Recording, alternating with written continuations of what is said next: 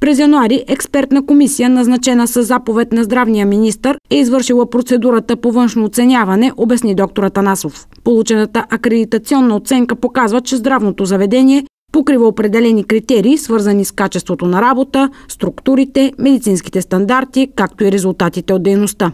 Всички отделения получиха отлична оценка, с изключение на отделението по кожни и венерически болести, което е с много добра оценка, а по модула за обучение на студенти и специализанти е много добра.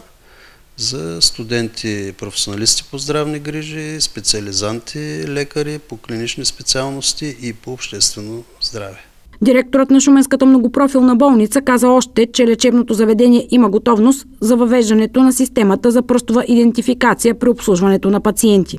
В следващите два месеца, до изтичането на два месеца, ние трябва да въведем и да тестваме системата за регистрация на пациентите. Необходимо е да си закупим съответните устройства, четци, които ще генерират след сканиране на пръста на пациента уникален код, който при всяко следващо посещение ще гарантира, че става дума за конкретния пациент. Доктор Атанас Атанасов допълни, че са получени указания от здравноосигурителната каса какви трябва да са параметрите на устройствата и как да се направят пробите за съвместимост с софтуера на НЗОК.